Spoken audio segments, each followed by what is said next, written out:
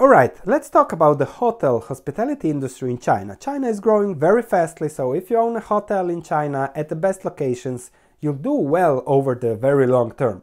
The fact is just that we have to find such a hotel at a fair price. Let's look at the details, let's look at devil's details and see whether China Lodging Company that changed its name into Huazhu is a company to buy, whether it's undervalued, overvalued. Let's start.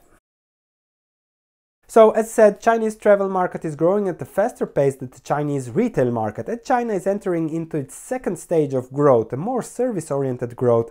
Travel, tourism will grow at a faster rate and even increase its growth rate. As you can see, the bottom was reached in 2015 and now it's growing faster. Therefore, a company you want to own would be Huazhu that focuses on hotel. They have managed and franchised hotels. What are managed hotels? They are referred as franchisees, either leasing or owning their hotels and investing in the renovation to CLG, Huazhu changed the name from China Lodging Group. Standards for these hotels, they charge a lump sum franchise fee of 3000 renminbi per room, perhaps that change, that is a li little bit older description, and 5% of the annual revenues. They are required to pay the salary of the hotel manager who is appointed by Huazhu. So what is Huazhu focusing on? Fast expansion of mid-scale hotels, growth in revenue per available room through quality improvement, so upper scale, innovation in upscale segment.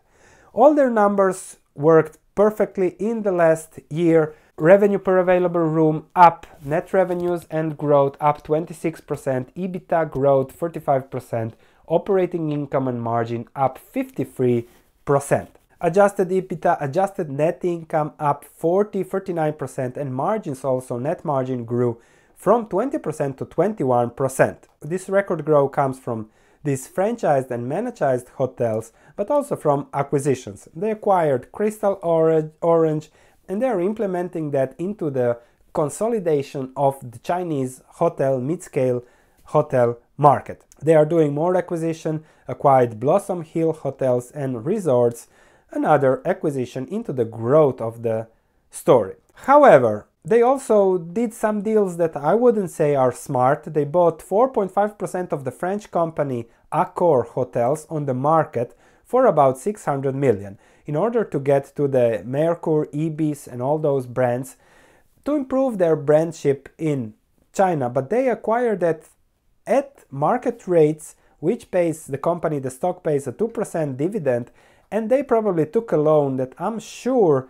costed more than 2%. So purchases of long-term investment, $604 million here, that's what they paid for 4.5% of Accor, and they took a long-term loan for 550 million. So they take a loan to invest in stocks.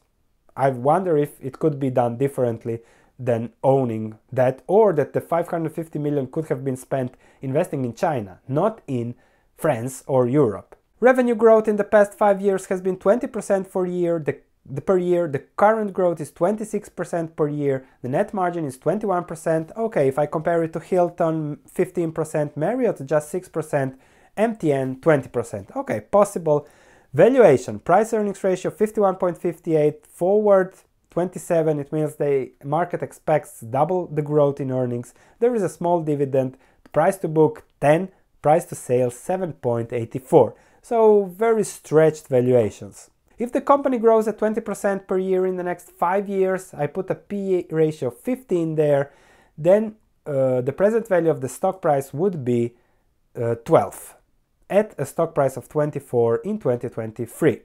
So the current stock price is 34. This is a screaming overvalued stock.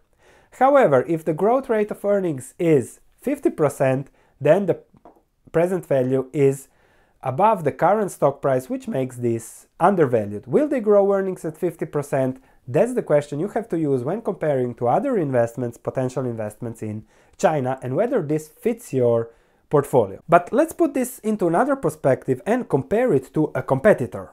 Shanghai Jin Jiang International Hotel Group, one of the biggest and most focused competitors for Huazhu, their growth is a little bit slower, 16% last year, but the dividend yield is 4.47% and the price earnings ratio is just 14.22 in Hong Kong. So the growth is here, The exposure to the market is here, but the price earnings ratio is here and the price to book value is 1.7, not 10. Perhaps a different business model, but their pipeline seems strong too. They're announcing 2,700 new hotels and 290,000 new rooms on their 680,000 guest rooms already existing and 6,794 hotels existing. So another growth story. Perhaps if you're interested into the hospitality, you sh should industry in China, you should really check this out and compare to all other opportunities you have there.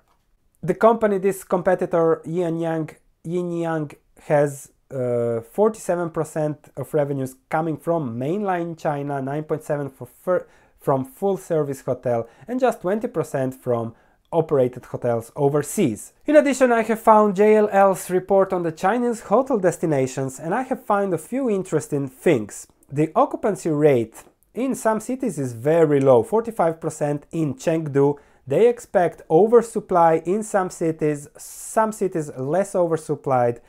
But this makes everything very risky. 45% occupancy is very low, especially with all the hotels that are coming, which means they are betting really on growth. But I think that there will also be competition, and with the internet, you can really pick the cheapest ones. So those margins might contract in the next five years, and because the next five years are what you need for these growth stocks to deliver. So there can be a lot of things that can happen in the next five years. From a relative perspective, this stock is overvalued compared to the competitor.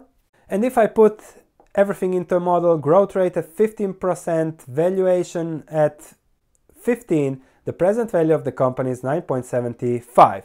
Seems a lot, but just two years ago the stock was trading at 9.75, so now it's trading much higher. But I would even go so far and call this a potential short for a well positioned short portfolio in China. Especially if you follow the margins, perhaps it will be a great short in the next few years. If you follow the margin, the competition is increasing, so there might the prices will have to go down, especially with the very low occupancies that you can see in the JLL report.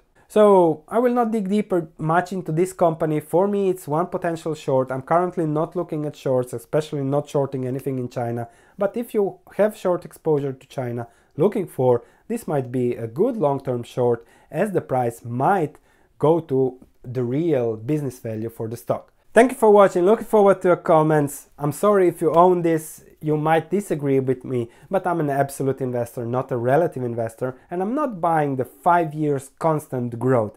Business is business. If there are earnings, competition will come. Thank you for watching. I'll see you in the next video.